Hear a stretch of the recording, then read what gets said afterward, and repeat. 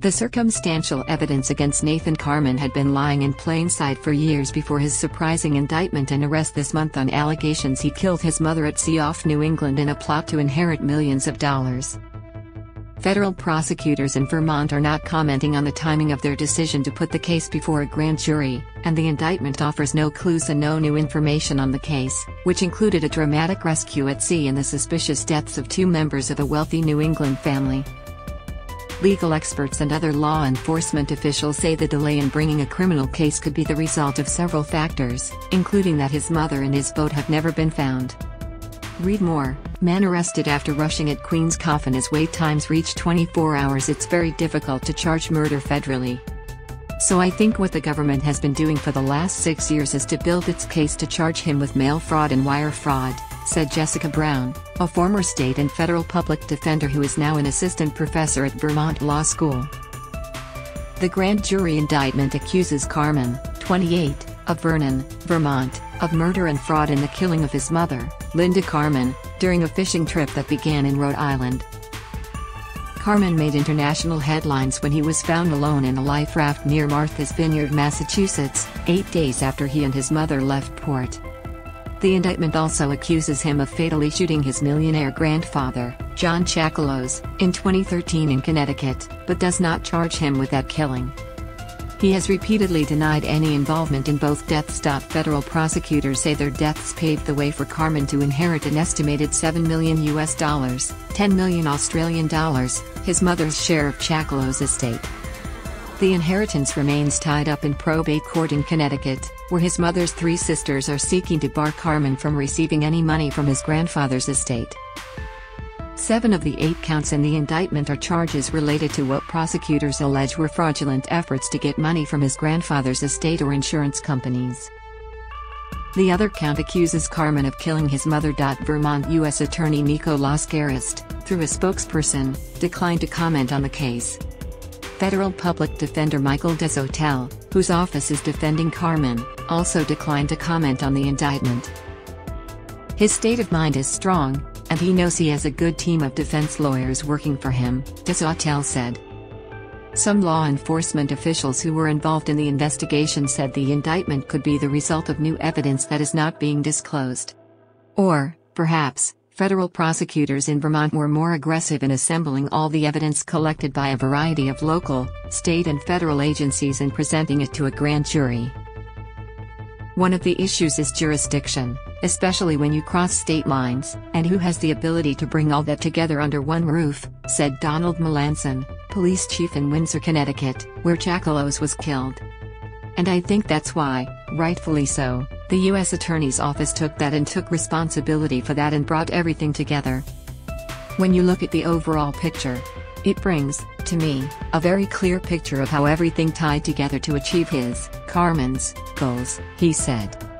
Read more third man arrested over fatal Brisbane stabbing, one still on the run in 2014. Before Melanson joined the department, Windsor police drafted an arrest warrant charging Carman with murder in his grandfather's death, but a state prosecutor declined to sign it and requested more information, according to a search warrant for Linda Carman's home in Middletown, Connecticut, obtained by police after she disappeared at sea. Neither state nor federal prosecutors in Connecticut or Rhode Island ever brought any charges against Carman. The case went cold. Then came the ill-fated fishing trip, which roused investigators' suspicions about Carman. But the probe into Linda Carman's disappearance also failed to produce an arrest. In 2017, investigators began keeping tabs on a lawsuit filed in federal court in Providence, Rhode Island, where insurers and Carman were suing each other over his rejected 85,000 US dollars, 126,000 Australian dollars, claim for the loss of his boat, named the Chicken Pox.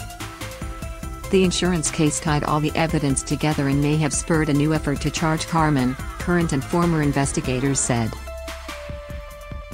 The insurer's lawyers laid out a case accusing Carman of plotting both killings and covering them up, using police investigation findings and information they obtained themselves, including a month before Chakalos shooting, Carman bought a rifle that can fire the same bullets as the ones used in the shooting.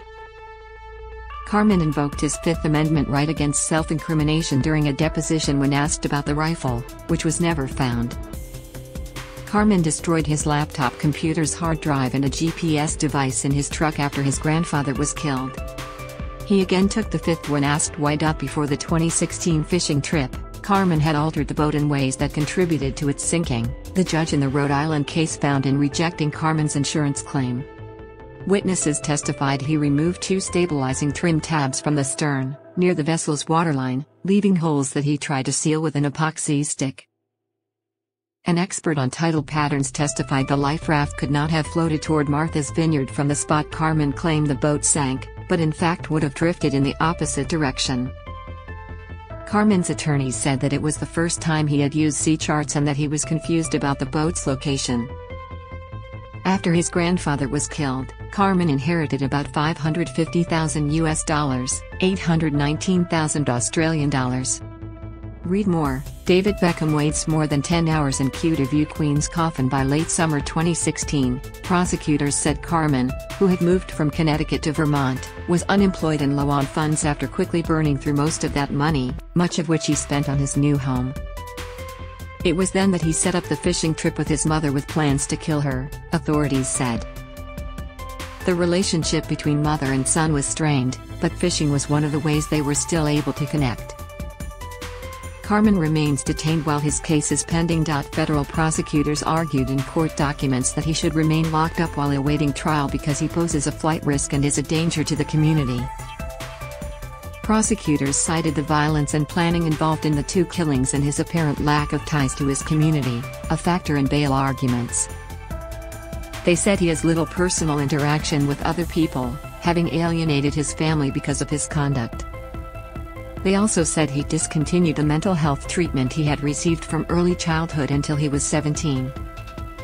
They wrote that Carman was diagnosed with potential mood and psychotic disorders in 2011, and that he had a history of hostility and aggression.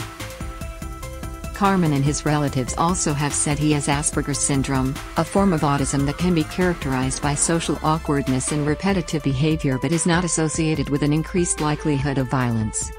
Carman has said he is misunderstood and an easy target for police because